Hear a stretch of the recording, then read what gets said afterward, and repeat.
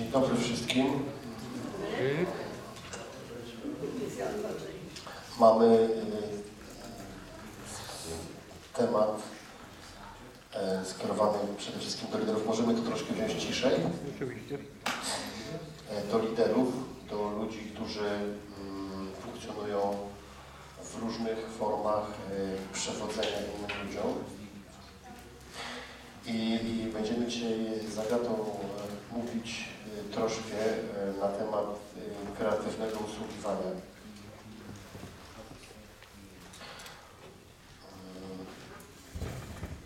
które jest e, niczym nowym. To nie jest żadna nowość.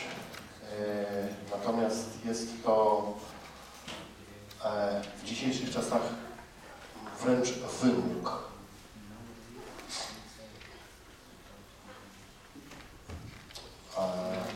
Ponieważ dzisiejsze czasy, w ogóle bliżej idziemy do Chrystusa, do powrotu Chrystusa, tym bardziej mamy do czynienia z globalną formą indywidualizmu człowieka. Każdy człowiek jest e, swego rodzaju państwem. I wielu ludzi twierdzi, że to jest złe. Ja osobiście twierdzę, że to nie jest złe same w sobie, bo to jest wmontowane przez Boga w człowieka, tylko że jest to powypaczone. Ale chodzi o to, że w dzisiejszych czasach jest napiętrzenie się tego i też to, jak my prowadzimy ludzi, musi być e, związane z tym, że my będziemy rozpoznawać, e, jakich metod używać, aby ludzie byli prawidłowo prowadzeni. W Ewangelii Mateusza 23:11 jest napisane, kto jest największy wśród was, niech stanie się waszym sługą. E, tak mówi Biblia Toruńska. Służyć to jest działać w czyimś interesie dla Jego dobra. A rozumiecie, służyć to nie jest wykonywać jakiś własny plan. To nie ma nic wspólnego ze służeniem. Służyć to działać w czyimś interesie dla dobra tej jednostki. To jest służyć komuś. Służyć to być komuś w czymś użytecznym. Czyli w ten sposób wpływać na człowieka, być dla niego użytecznym, czyli być dla niego bazą do podniesienia jego życia. To też służyć znaczy wpływać na kogoś ku jego dobru, czyli robić różnego rodzaju rzeczy w tym celu, aby życie tego człowieka stawało się coraz lepsze. To jest służyć człowiekowi. A kreatywność, przyjaciele, to jest tworzenie czegoś nowego, oryginalnego, czegoś zupełnie nowego. Często to, co y, czyli pamiętamy, y, te, te, te wersety, że oto wszystko czynię nowym, bardzo często e, zawężamy to słowo do tego, że staliśmy się nowym stworzeniem, że jesteśmy teraz nowymi ludźmi. To jest bardzo wąski zakres, to jest jakby podstawa tego zjawiska. Ale tu jest napisane, że oto wszystko czynię nowym. Czyli, że życie człowieka będzie się spotykało z potrzebą odbierania zupełnie nowych bodźców, świeżych bodźców. Rozumiecie? Dlatego też usługujący winni być ludźmi kreatywnymi. Kreatywne usługiwanie to działanie na rzecz czyjegoś dobra w sposób nowatorski. Wielokrotnie stare sposoby w różnego rodzaju sytuacjach zawodzą, rozmywają się, stają się nieużyteczne w danych okresach czasu. Nawet Boże rzeczy stają się nieużyteczne. Rozumiecie? To jest bardzo ważne, żeby zrozumieć. Coś, co działało kiedyś, nie musi działać dziś. Jesteście liderami, więc znacie jasno, wiecie dobrze o historii e, króla, który był reformatorem w Izraelu i który podróżując przez Izrael i oczyszczając Izrael z bałwochwalstwa, natrafił w pewnym mieście na miedzianego węża, który był zrobiony kilka tysięcy nawet lat temu przez Mojżesza w takim celu, aby ludzie, którzy są kąsani przez węże, kiedy na niego spojrzą, byli uzdrawiani. To był zamysł Boży, to było dobre. Ale wiele, wiele, wiele pokoleń później ten sam wąż, który wcześniej przynosił błogosławieństwo, był nazwany w jakimś miasteczku Nehusztan. Oddawano mu chwałę i cześć. Kłaniano mu jako bałwanowi. Rzeczy Bożej, która przestała działać. I w ogóle religia się na tym opiera. Rozumiecie? I częstokroć y, to, co było wczoraj dobre, dzisiaj dobre już nie jest. I my jako liderzy nie możemy się przyzwyczaić do tego, że coś było dobre wczoraj. My musimy dziś tworzyć. Dziś. E, musimy też rozumieć, że bez względu na to, kim jesteśmy, czy jesteśmy posłani do świata, czy jesteśmy posłani do Kościoła, bo to zależy od Twojego powołania, Ty musisz kreatywnie usługiwać i światu, i Kościołowi. Ty musisz, jeżeli jesteś ewangelistą, musisz być kreatywnym ewangelistą. Ty nie możesz być ewangelistą, e, który e, jest e, człowiekiem schematycznym. Po prostu. Nie ma dla Ciebie schematu. I nie może być dla Ciebie schematu. Nie możesz się bać. Żeby tworzyć, nie możesz się bać. Nie możesz się bać, że gdzieś się poślizgniesz. W ogóle nie możesz się bać. Nigdy i niczego. Nie możesz się bać, że jeśli coś wprowadzisz, a wcześniej nie było to znane, to że to się nie uda. Albo że nie zostanie to zaakceptowane. My tutaj w zespole robimy masę rzeczy, których nikt wcześniej nie robił. Udają się. Działają. Trzeba zrozumieć, że każdy człowiek to potencjalnie inna usługa.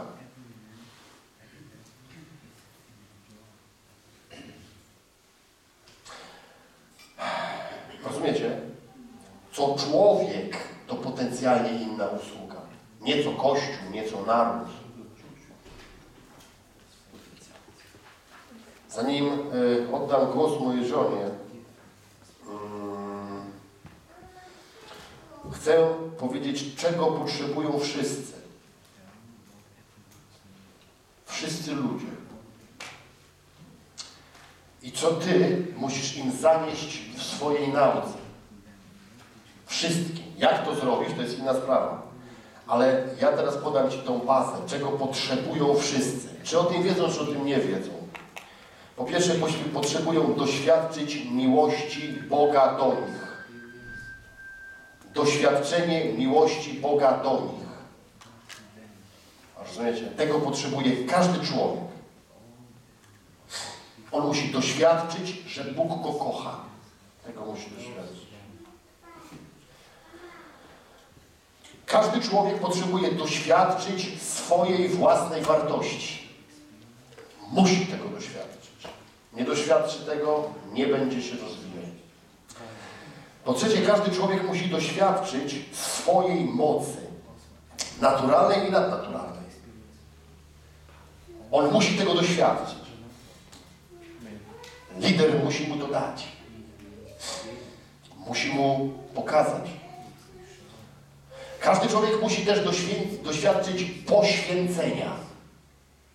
Każdy człowiek musi tego doświadczyć. Czyli realnego, praktycznego złożenia życia dla Królestwa. Każdy człowiek też musi doświadczyć wytrwałości w tym życiu, w którym funkcjonuje. On musi tego doświadczyć. I każdy człowiek musi doświadczyć rodziny. Rodziny duchowej. Rozumiecie? Każdy człowiek musi tego doświadczyć. I lider musi to zrobić. Jeżeli liderzy tego nie robią, to nie spełniają swoich obowiązków duchowych. Oni po prostu są złymi liderami.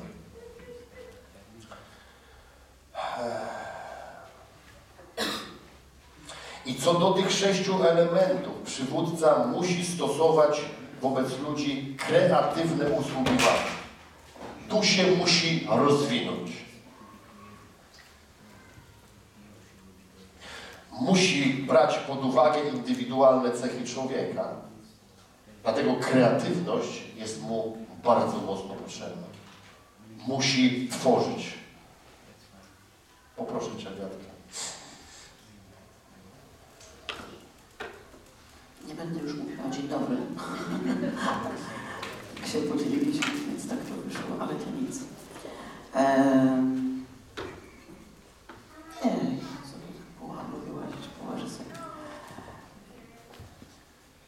Czasami jest tak, że niewiele wynosimy z pewnych spotkań, dlatego że w zupełnie innym miejscu życia jesteśmy. I takie moje Moja taka pierwsza informacja do Was to jest taka. Jeśli jesteście liderami, to nigdy nie możecie się stać zwolennikami, czyli sympatykami. Lider to nie sympatyk. Nigdy jako lider nie możesz się stać sympatykiem Jezusa, jak również nigdy jako lider jakiejś wspólnoty powiedzmy, kiedy ktoś jest liderem w naszej służbie, nie może się stać sympatykiem naszej służby. To jest ogromna różnica między byciem liderem, a byciem sympatykiem. Kochani, chciałabym na samym początku powiedzieć coś takiego, że wszystko się rozwija według swojego rodzaju. Czy zgadzacie się z tym? Wszystko się rozwija według swojego rodzaju. Cała pierwsza księga Mojżeszowa, cały pierwszy rozdział właśnie o tym mówi że wszystko rozwija się według swojego rodzaju. I ja personalnie, osobiście uważam, że jest bardzo duży na to atak. Naprawdę. To, z czym się spotykamy w szeroko pojętym kościele, to jest schemat usługiwania. Że jest tylko pięć darów służb, czyli tak naprawdę pięć powołań, w których człowiek może się odnaleźć jako człowiek wierzący. Jest pięć darów służb, ale to nie jest wszystko. Bo Słowo Boże mówi, że wszystko rozwija się według swojego rodzaju. Co dalej poprzez to chcę powiedzieć? Uważam, że wielu ludzi, którzy przychodzą do Jezusa i przychodzą do jakiejś, powiedzmy, wspólnoty, która ma taki, a nie inny charakter, rezygnuje z fachowości swojego życia. Ja zrezygnowałam z fachowości swojego życia z uwagi na to, że było nade mną większe powołanie, czyli nie jestem fryzjerem, robię to, co robię.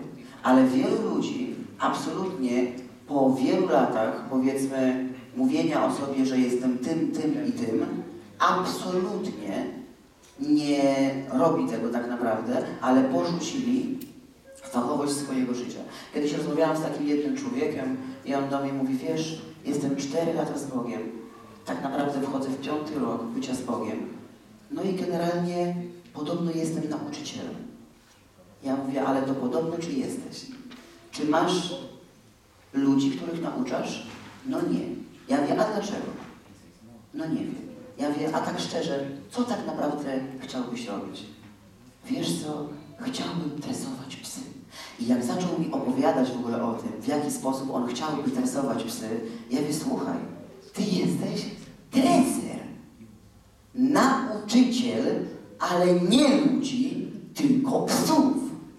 Jest różnica? Jest. Zasadnicza. Jesteś treserem psów, a nie ludzi. I wielu ludzi straci i porzuca swoją fachowość, dlatego że w kościele jest powiedzmy jeden kształt nauczania. Rozumiecie? że jest tylko i wyłącznie, powiedzmy, mówi się, wartościowy jest ewangelista, wartościowy jest apostoł, wartościowy jest prorok, wartościowy jest nauczyciel. To jest nieprawda. Wszystko rozwija się według swojego rodzaju. Czyli tak naprawdę jest atak na rodzaj. Bo czy wszyscy jesteśmy urzędnikami? Nie. Nie jesteśmy wszyscy urzędnikami. Kiedy tak naprawdę ludzie nie rozwijają się według swojego rodzaju, to co mo możemy o tym powiedzieć? Możemy o tym powiedzieć, że Kościół wtedy staje się ograniczony w swoim wpływie. Kościół się staje ograniczony w swoim działaniu.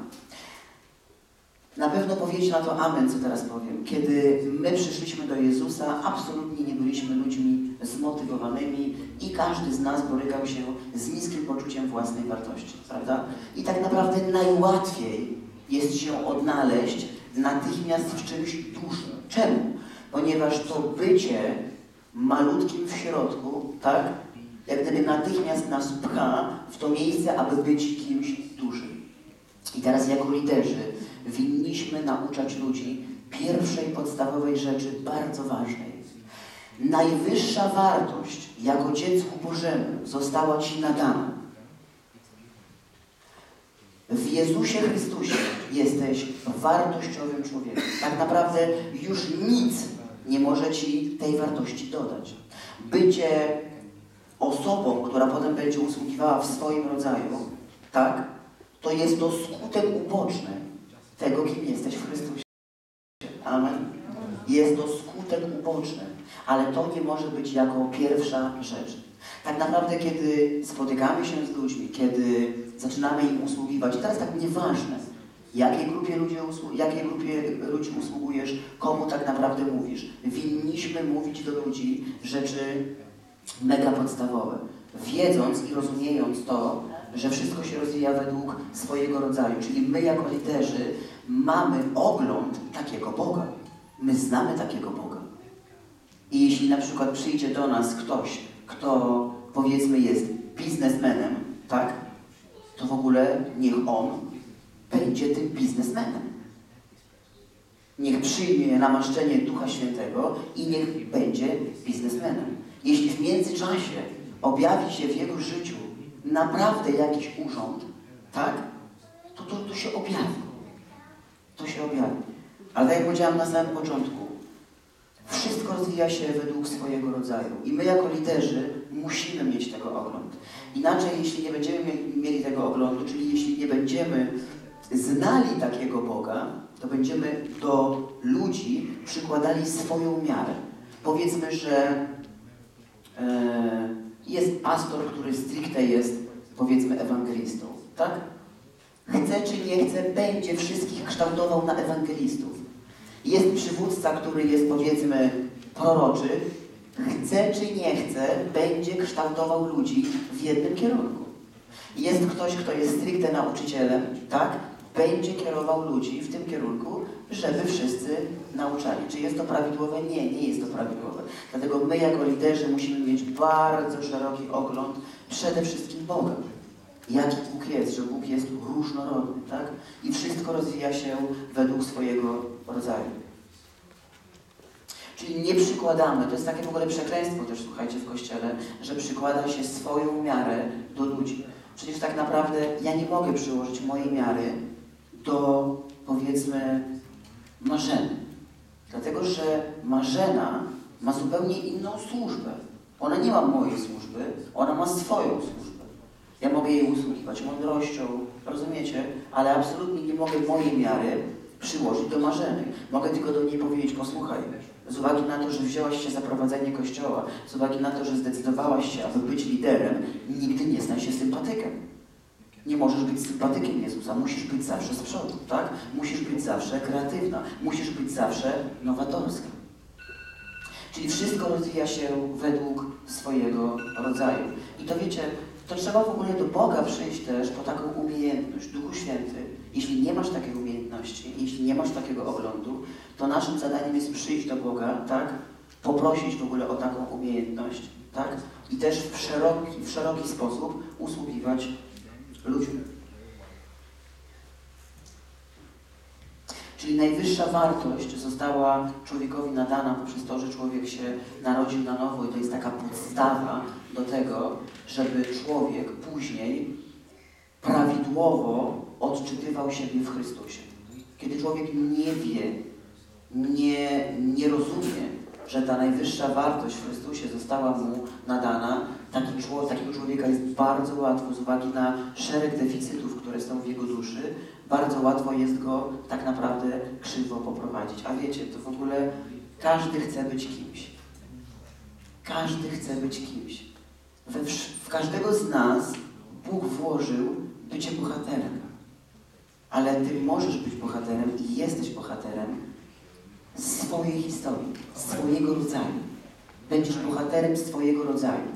Czy ja jestem lepsza od Anity Marczyńskiej, która jest cukiernikiem i może w przyszłości otworzyć cukiernię i głosić tam w ogóle Ewangelię? Nie. Ja jestem po prostu inny rodzaj. Ja jestem inny rodzaj. Agata Łakomska wzięła się za prowadzenie szkoły. Czy ja jestem od niej lepsza? Nie. Mamy tę samą wartość. Ta sama wartość została nam nadana. Mamy tego samego ojca, ale wykonujemy zupełnie inny fach. To jest bardzo ważne, bo między innymi to jest też, kochani, to, na co my kładziemy bardzo duży nacisk w naszym zespole apostolskim. Wiecie, to właśnie my zrzeszamy różnych ludzi. Różnych. To właśnie tutaj, u nas, ludzie mają mieć przestrzeń do tego, aby mogli się stać takim rodzajem, jakim są. I ty i ja, naszym obowiązkiem, co jest robić? Stwarzać ludziom to środowisko. I po tą umiejętność trzeba przyjść do Boga. Schemat jest, słuchajcie, w ogóle schematy w kościołach uważam, że wielokrotnie są demoniczne. Bo człowiek najlepiej się czuje w tym, co zna, co od wielu lat jest na przykład propagowane. Nie? Nie wiesz co robić? To idź na ulicę. A czemu nie pogadać z nim w ogóle, jak on może być na przykład powiedzmy namaszczony fryzjer. I teraz zobaczcie. Będzie nędznym ewangelistą, ale kiedy weźmie dofinansowanie, otworzy zakład fryzjerski. Wiecie co jest w zakładzie fryzjerskim? Chcesz się dowiedzieć plotek z całego miasta? Stań się fryzjerem. Wszyscy do ciebie przyjdą. Wszyscy przychodzą do fryzjera. Ja nie wiem, dlaczego tak się dzieje. Ale w ogóle natychmiast ludzie opowiadają swoje życie. Może być namaszczony fryzjer? Może być namaszczony fryzjer, który będzie głosił Ewangelię i przyprowadzał ludzi do Jezusa. My to w ogóle musimy złapać i też chcieć wyjść z pewnych schematów myślowych, które chcemy czy nie chcemy, zostały nam włożone do głowy. Wiecie, one nam zostały włożone, te schematy do głowy. Ale prawda jest taka, że wszystko rozwija się według swojego rodzaju. Mnie mocno to dotyka. To jest taki dla mnie temat, który o nim można by było mówić, mówić i mówić. I tak jak jest nas tutaj powiedzmy ileś tam osób, 40, tak? Tak każdy z nas jest innym rodzajem. Innym rodzajem. E, jako liderzy mm, musimy rozpoznawać te rzeczy i musimy stać na straży niepchania ludzi w iluzję ich powołania, jak również być taką pomocą do tego, żeby rozpoznać, żeby pomóc ludziom rozpoznać ich powołanie. I żeby tak naprawdę pomóc rozpoznać człowiekowi powołanie, to musisz go znać. Musisz go znać. Bez tego poznania w ogóle człowieka tak naprawdę no, trudno ci będzie jak gdyby dotrzeć, o czym ten człowiek marzy, jakie on ma w ogóle plany, co on tak naprawdę w przyszłości chce robić. Zgadzacie się? A więc najważniejszą rzeczą, którą chciałam powiedzieć, chcę powiedzieć dwie rzeczy. E, że wszystko rozwija się według swojego e, rodzaju i że my jako liderzy tworzymy środowisko dla ludzi. I jeśli po tym, co dzisiaj na przykład powiedziałam, uważasz, że nie masz umiejętności tworzenia środowiska dla ludzi, że jesteś jakoś, nie wiem, sam zaklopsowany, to trzeba z tym tematem przyjść do Boga. Trzeba z tym przyjść do Boga, otworzyć się również samemu na rozwój. Wiecie, my nawet tak naprawdę wielokrotnie nie wiemy, że się nie rozwijamy. Czasami jesteśmy w coś wkręceni i nawet nie wiemy. Czasami jesteśmy w jakimś miejscu ciemnym i dopóki ktoś nie zapali światła nad nami, to nie wiemy, że byliśmy w ciemności. Jeśli nie wyposażysz ludzi, jeśli nie dajesz środowiska, żeby ludzie się rozwijali według swojego rodzaju, to przyjdź z tym tematem do Boga. I chcę powiedzieć, to miałam tego nie mówić, ale chcę to powiedzieć, bo dla mnie osobiście jest to bardzo ważne. Ja chodzę z Bogiem 18 lat i troszkę już widziałam rzeczy. Byliśmy też w różnych kościołach, byliśmy w różnych miejscach. Ja naprawdę widziałam masę tak zwanych modlitw, w których się rzucało awansami na ludzi. Na prawo i na lewo się mówiło, ty jesteś ten, ty jesteś ten, ty jesteś ten. Dużo tego widziałam. Tylko wiecie, ja nie widzę tych ludzi teraz. Ja ich nie widzę. Czemu to tak jest? Dlatego, że to, to nie do końca w ogóle są rzeczy związane w ogóle z prawdą. Wiecie, jest taka tendencja. Jesteś prorokiem, jesteś apostołem, jesteś ewangelistą i tak dalej. No nie do końca to tak wygląda. Jeśli człowiek naprawdę po nastu latach nie wydaje w ogóle owocu, powiedzmy tego swojego rodzaju, to śmiem powiedzieć, że absolutnie tak to nie, nie wygląda. Więc chcę powiedzieć, że jako liderzy raz musisz być kreatywny, a dwa musisz być kontrolerem jakości. Czy się z tym zgadzacie? My musimy kontrolować jakość. Jeśli uda się diabłu zamydlić nam oczy i nie będziemy kontrolowali jakości, rozumiecie? To tak naprawdę nie będzie się Kościół rozwijał w prawidłowym e, kierunku. Kiedy był taki epizod w moim życiu, że jak Artura zamknęli do więzienia, mm, ja musiałam bardzo szybko iść do pracy. Nie pracowałam już jakiś czas w moim zawodzie, a tutaj trzeba być kreatywnym i tak dalej. Wiedziałam, że będę musiała przejść jakąś praktykę i nie miałam na to czasu. Musiałam iść szybko do pracy, ponieważ bardzo szybko potrzebowałam pieniędzy dla siebie i dla Wiktory. I przyjęłam się, słuchajcie, do takiej e, fabryki u nas w Nasielsku, gdzie mm, montowane były zamki do Fiata Panny. Chyba jeszcze tego nie wiem.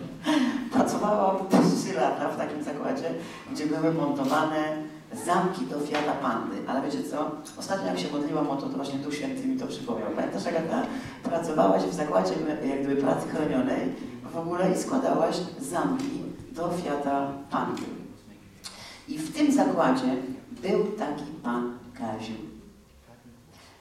I on był kontrolerem jakości.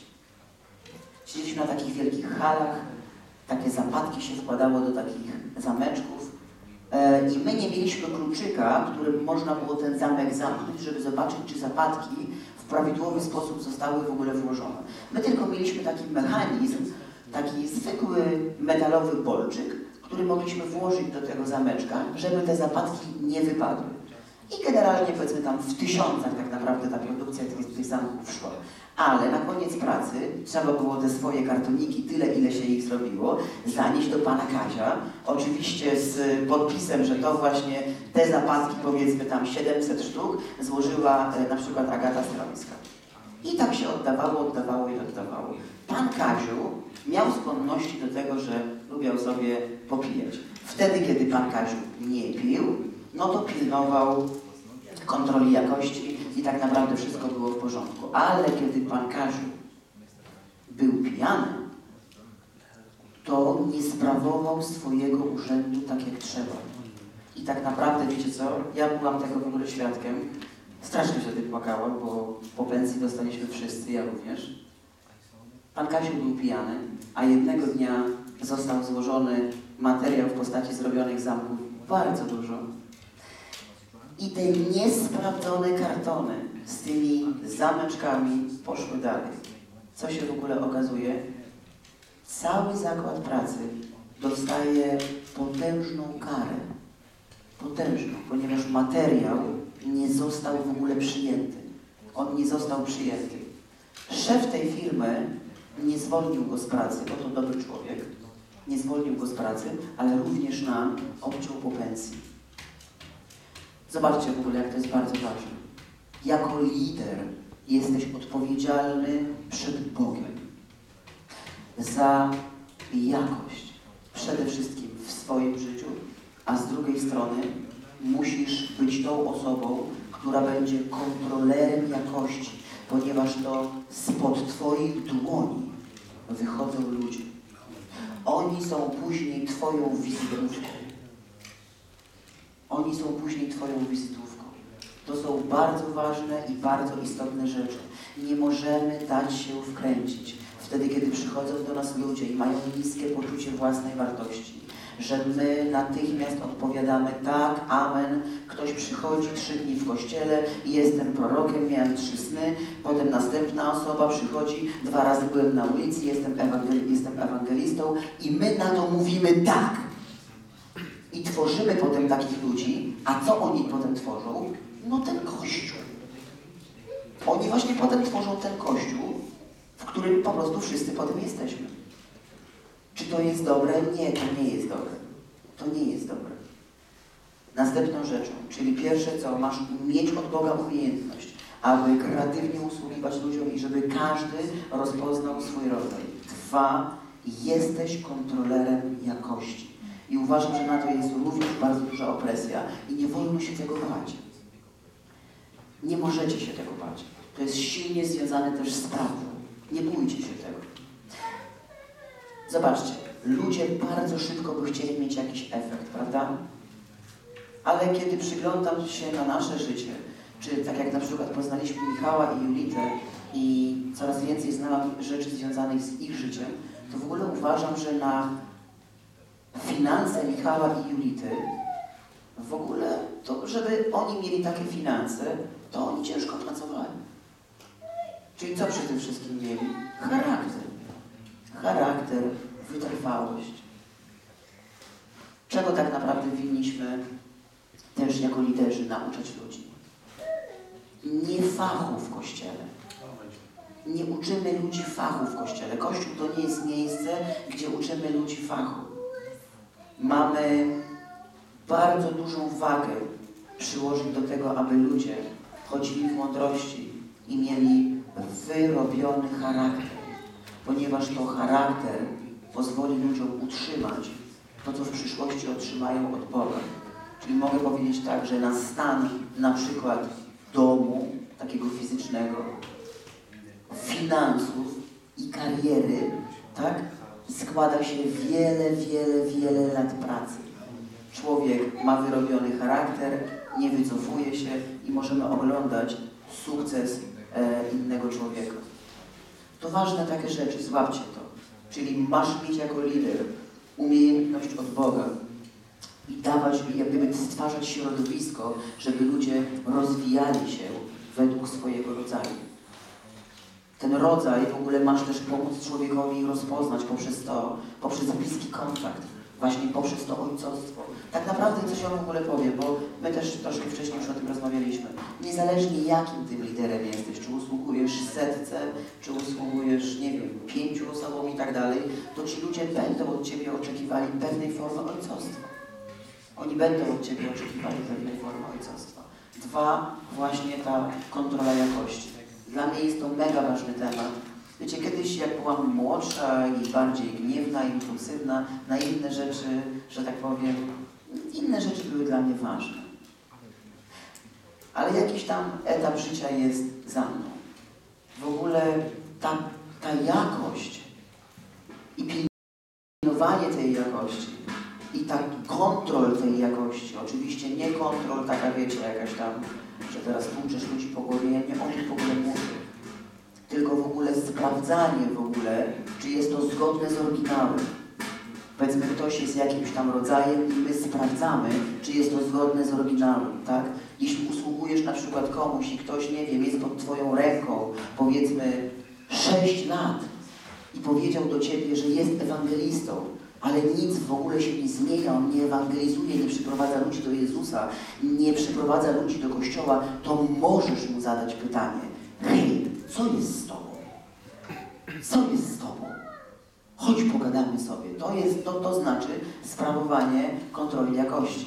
To jest bardzo ważne. I w zasadzie, kochani, to są te trzy rzeczy, które ja chciałam Wam mm, powiedzieć.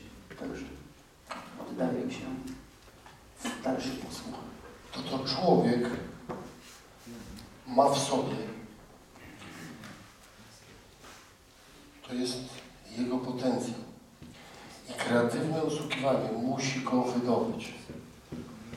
Lider ma odpowiedzialność za wydobycie potencjału z człowieka. To jest główny cel lidera. Wydobyć potencjał. Nie uratować człowieka. Nie posłużyć się człowiekiem. Ale wydobyć z człowieka potencjał. To obowiązek lidera. Potencjał to wydobycie potencjału wymaga pracy lidera. Rozumiecie? On się ten potencjał nie wydobędzie sam. Posłuchajcie, istnieje bardzo niewiele jednostek chrześcijaństwie, którzy bez udziału przywództwa wydobędzie swój potencjał. Bardzo rzadkie przypadki. Ludziom się wydaje, że mając Ducha Świętego, wydobędą ten potencjał. Tylko praktyka wskazuje na coś innego. Jesteśmy ruchem apostolskim, interesuje nas ogląd praktyczny zjawiska. Gdyby tak było, że wszyscy narodzeni z Bożego Ducha ludzie wydobywaliby pełnię swojego potencjału bez potrzeby pracy nad nimi, to byśmy mieli już dawno powrót Jezusa. Rozumiecie? Bo byśmy dawno doprowadzili do tego, żeby wszyscy byli zewangelizowani, dawno byliśmy to zrobili. Potencjał wymaga, wyciągnięcie potencjału człowieka wymaga pracy. Lider musi stworzyć człowieka. Rozumiecie to? Człowieka się stwarza. To nie jest coś takiego, że się jest człowiek, on chodzi w Duchu Świętym i teraz jesteś przywódcą w jego życiu i ty się przyglądasz, jak on wzrasta w Duchu Świętym. Nie. Twoje zadanie, które odebrałeś od Boga, to stworzyć tego człowieka. Co to znaczy, że masz go stworzyć? To znaczy, że ty musisz widzieć dalej niż on. Szerzej niż on. Rozumiesz? Ty musisz mu zacząć proponować konkretne działania. Które to dziecko gada? Twoje. Prze- Przestań go tam marzyć dalej.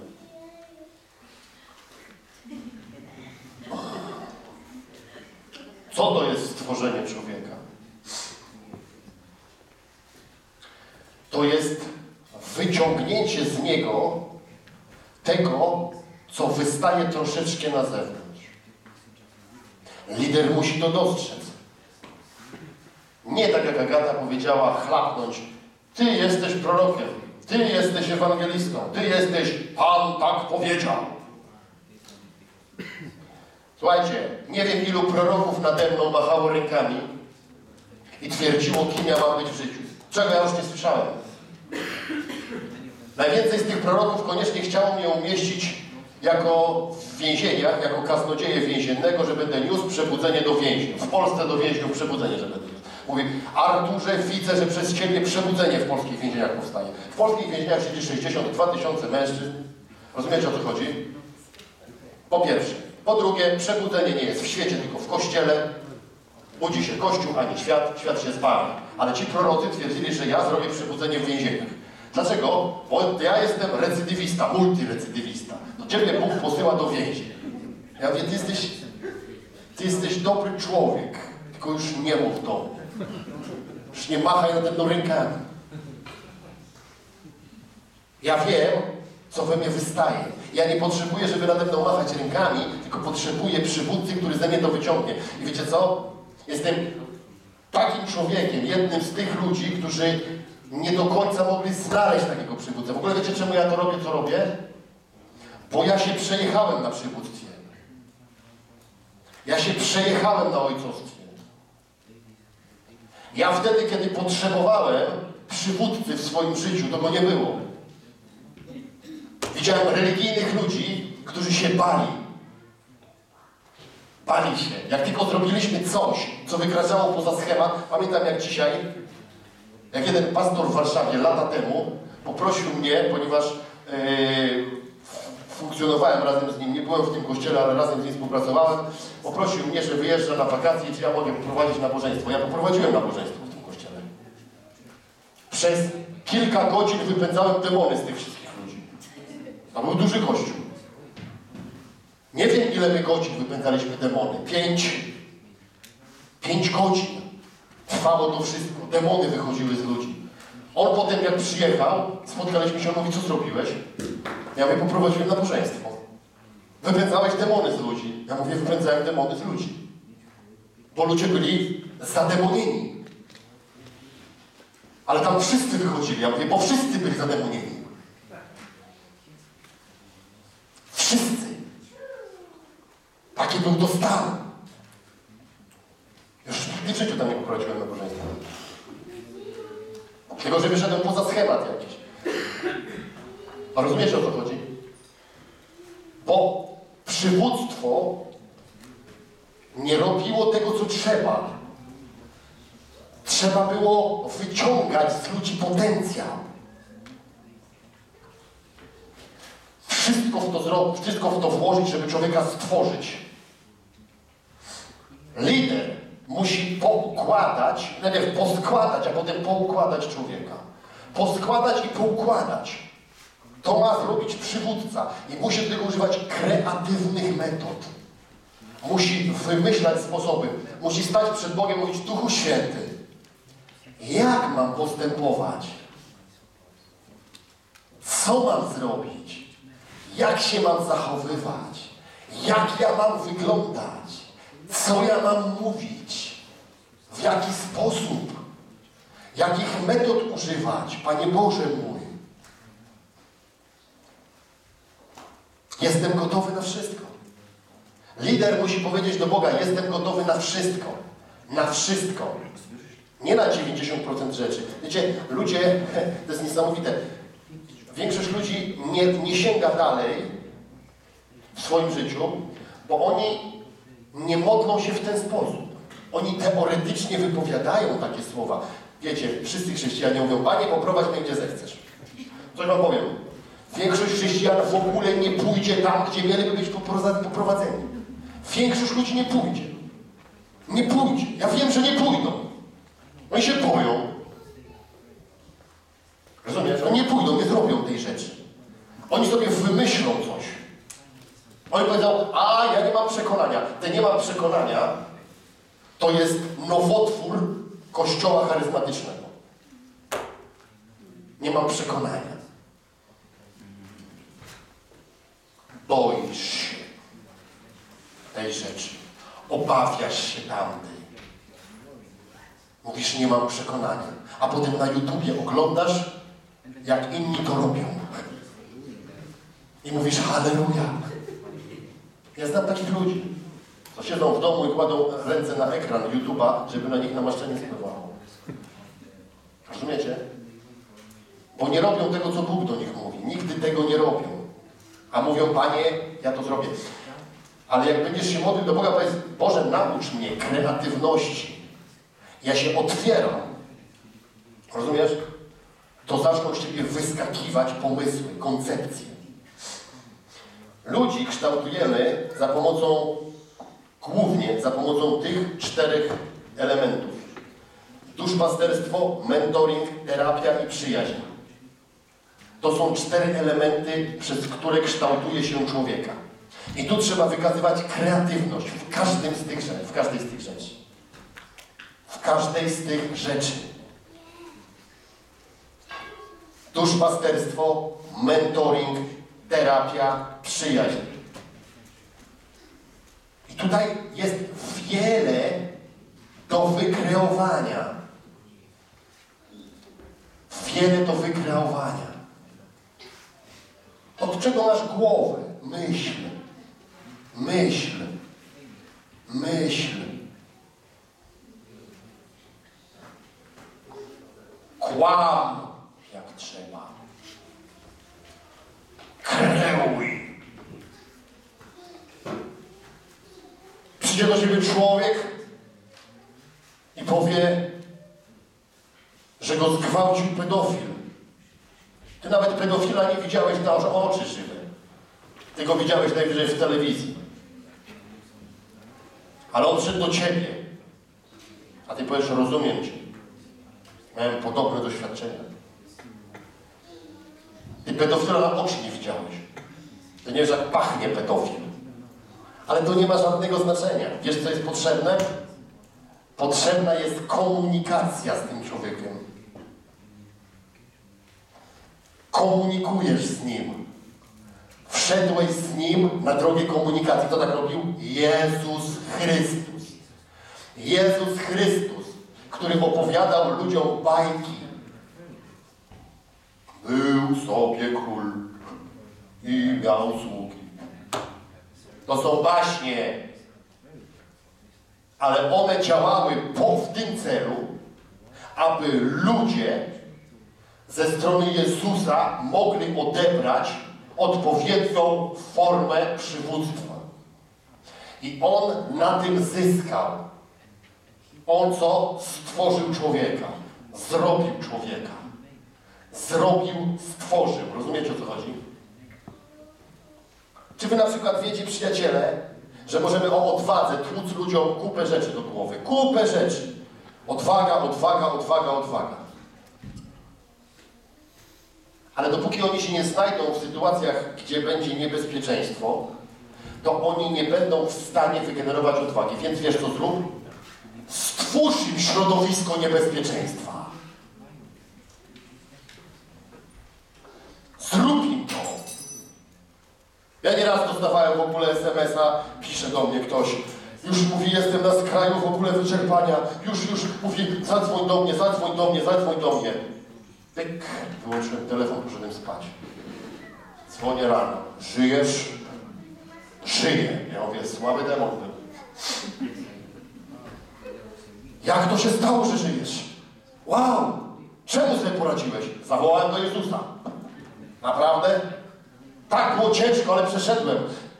Dobrze, że nie odebrałeś.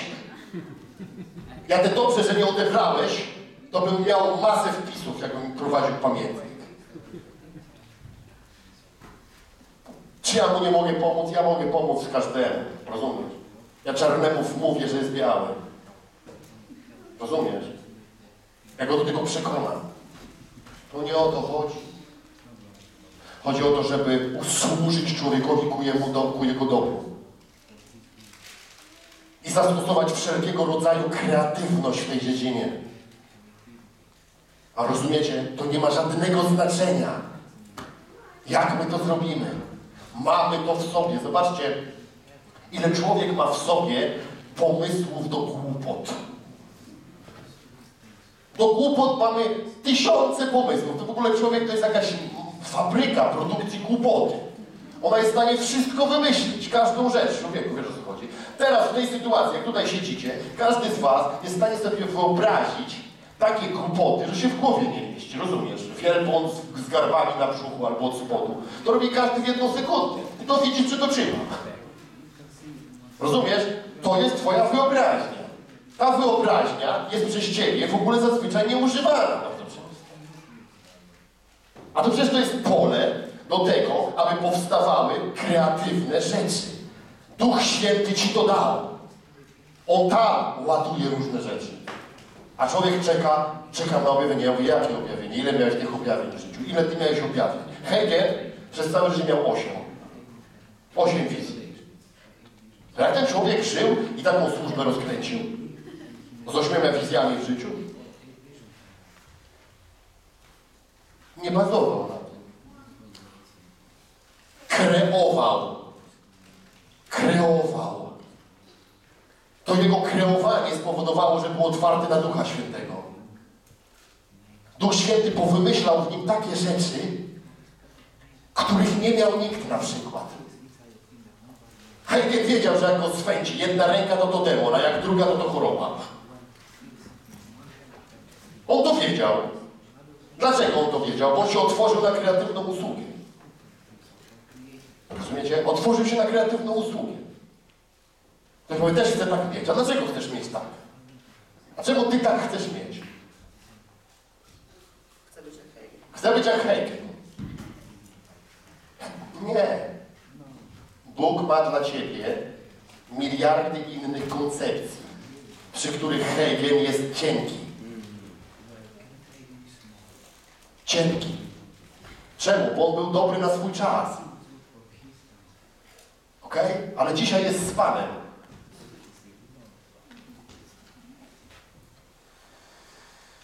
Nowatorskie metody wymagają odwagi i wytrwałości.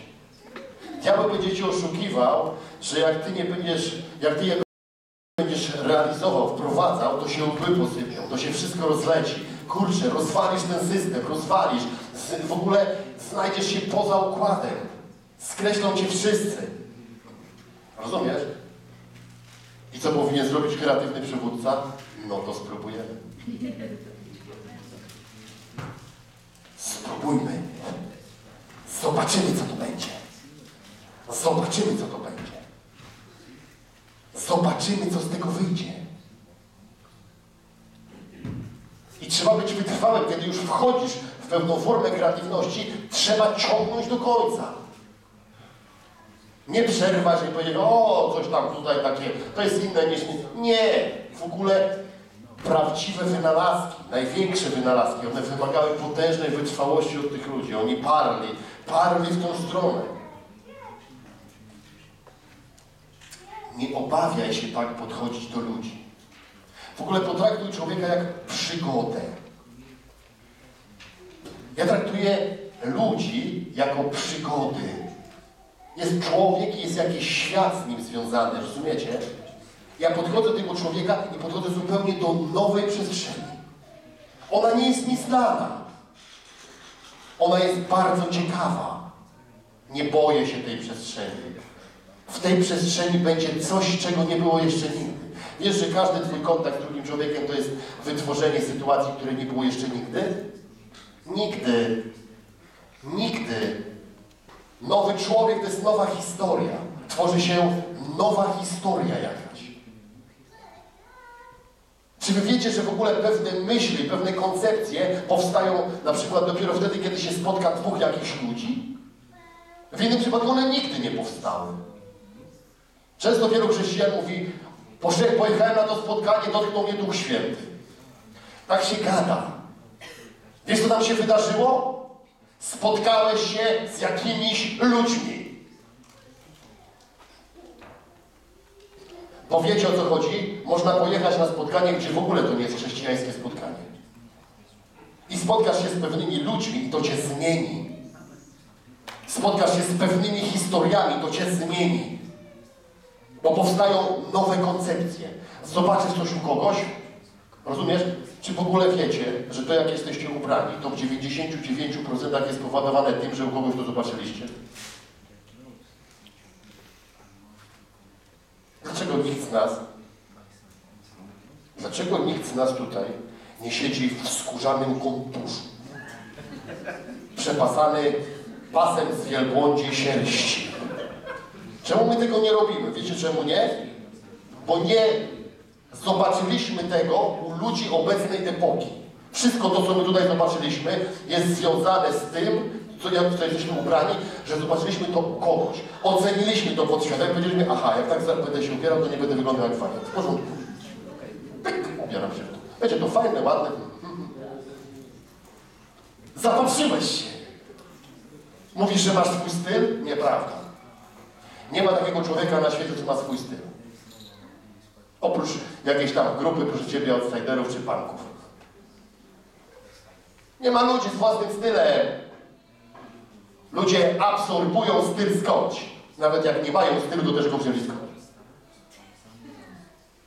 Nawet brak stylu się absorbuje. Jesteśmy ludźmi, takimi nas Bóg stworzył.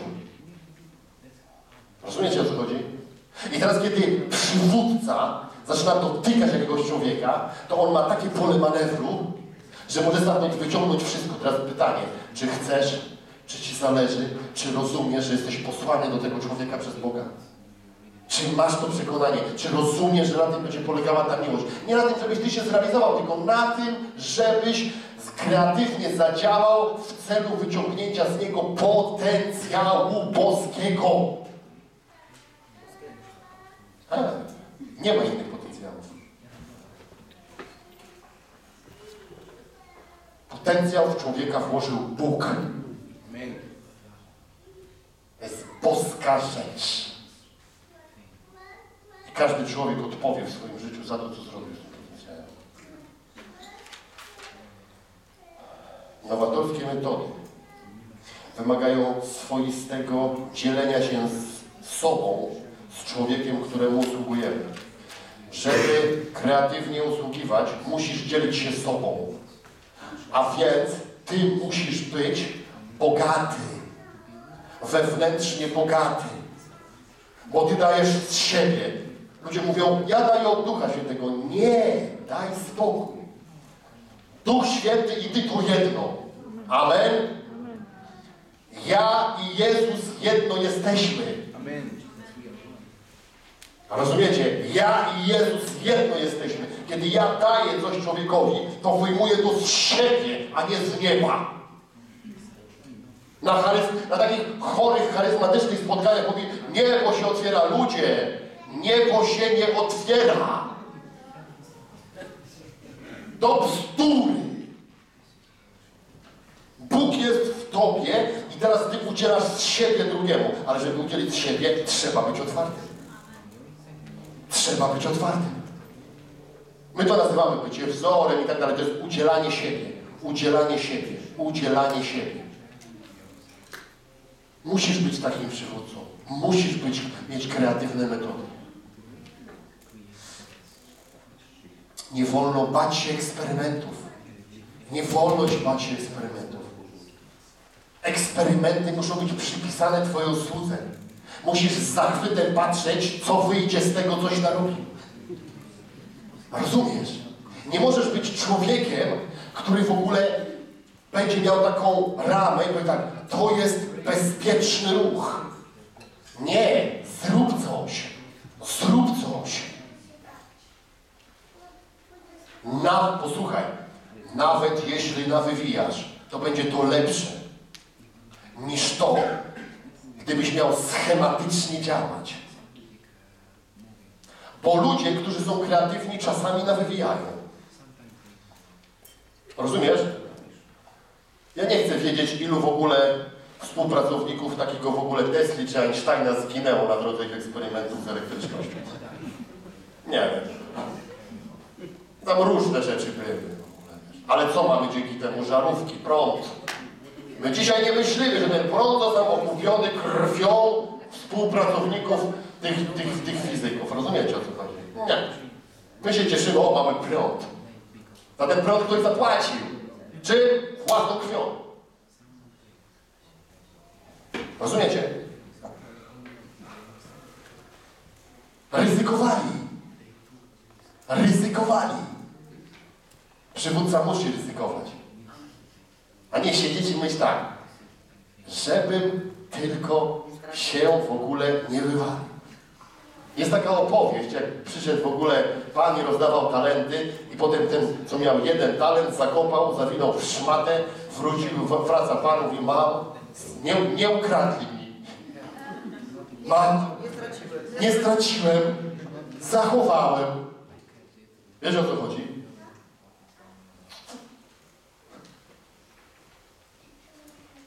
To się nie liczy. Bóg mówi, to się nie liczy. Słucha. Skucha jest. Chodzi o to, że musisz kreować. Kreuj, zrób coś. Ja nieraz, słuchajcie, ja słyszałem masę różnych pomysłów na mój temat. Jak tylko chciałem coś wykreować, od razu taki antykreator się stał. Taki w ogóle, kiedyś taki znajomy nasz mówił, to zborowy kuler. Rozumiesz, od razu wylewał na ciebie kubeł zimnej wody. Coś wykreowałeś, tak? A tutaj w ogóle, nie, nie, to nie wyjdzie. To nie wyjdzie. A sprawdźmy, pojedźmy na tym. Ja z jednym pastorem się dzielę takim lata temu, taką informacją, wiesz, mówię, mówię, zaraz będę rezygnował z pracy, otwieram zespół, otworzyłem zespół finansujący, będę w ogóle żył z tego, co mi będą dawać ludzie. Mm, Nie, nie, to mówi, nie przeżyjesz. Nie przeżyjesz, mówi, ja tego też próbowałem, to jest niemożliwe, żebyś z tego przeżył. Ja mówię, dlaczego to jest niemożliwe?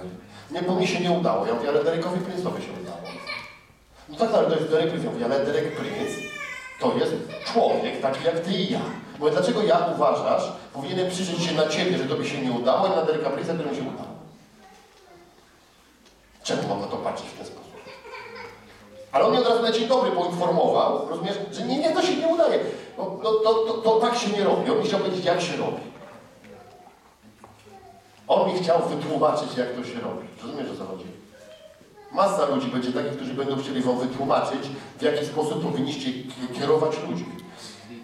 Ale ty musisz ryzykownie kierować ludźmi. Czy poniesiesz za to karę? Lub dostaniesz nagrodę? Na pewno. Kiedyś przed Bogiem odpowiesz za każdego człowieka, którego prowadziłeś w życiu. Ustaniesz przed Bogiem i zapłacisz za to. Rozumiesz? Jeśli źle będziesz prowadził ludzi, a nie masz już wyjścia, bo już się za to wziąłeś, rozumiesz? To już nie masz wyjścia, już masz, już masz przegranie w tej chwili. Tak? Więc jeżeli źle będziesz prowadził ludzi, to nie dostaniesz za to nagrody. Trafisz do tej grupy bez nagród. Ktoś powie, to, to, to, to warto? No pewnie, że warto. Rozumiecie? Pewnie, że warto. Ostrożnie nie piją szampana. Rozumiecie? Taka jest prawda. Ostrożność to jest najlepsza droga do, na oddział geriatryczny. To jest najlepsza droga na geriatrię. Być ostrożnym. Ja kiedyś naprawdę, słowo honoru, my byliśmy kiedyś na grupie domowej, ja to usłyszałem od dwunastolatka, który się wychowywał w rodzinie religijnej i ktoś go zapytał przy tym stole, jakie jest twoje marzenie? A on powiedział, że chciałby być emerytem. Słowo honoru, ja to słyszałem, ja się nawet zwróciłem. Siedział obok, ja, ja mówię, przepraszam, a ile ty masz lat? Mówi, mam 12 lat. Ojciec w ogóle lider takiej wspólnoty, w ogóle tam nieistotny generalnie. Ja mówię, emerytem byś chciał być? To jest twoje marzenie życiowe? Ja mówię, a czemu byś chciał być emerytem? On mówi, no bo już jest, mówi, już się ma emeryturę, już te pieniądze przychodzą, co miesiąc jest tak spokój, tak ja mówię, Chryste, i tak sobie myślałem, Chryste, no ma 12 lat. W ogóle wyobraziłem sobie tragedię jego życia, wiecie o co chodzi, w oczekiwaniu na emeryturę. Człowiek, który będzie teraz czekał 55 czy tam ileś lat na emeryturę. Będzie tak życie spędzał. Będzie robił to ostrożnie, żeby nie stracić emerytury. Co to jest za życie? Nigdy nie wiesz, rozumiesz, co jest po bokach tych torów. Co tam są za rzeczy? Ja jak pamiętam, jeździłem do Warszawy do szkoły pociągiem z, Nasierska, ja się przyglądałem, zawsze mnie interesowało, co tam w ogóle jest na tych poboczach. Rozumiecie? Mnie mało interesowała ta droga, którą ja szedłem. Co tam z boku jest? Tam musi być cholernie dużo ciekawych rzeczy. Przyjaciele, bądźcie kreatywnymi przywódcami. Módlcie się o to do Boga. Powiedzcie, Boże, ja nie chcę być przeciętny. Ja nie chcę w sposób przeciętny prowadzić ludzi. Nie chcę. Jezus chce być jak Ty, z Twoimi pomysłami, z Twoimi koncepcjami. Boże namaszczenie przekłada się na koncepcję. Rozumiecie? To Boże namaszczenie na to się przekłada. I będziecie tworzyć wtedy naród. Będziecie tworzyć naród. Stworzycie naród. Amen.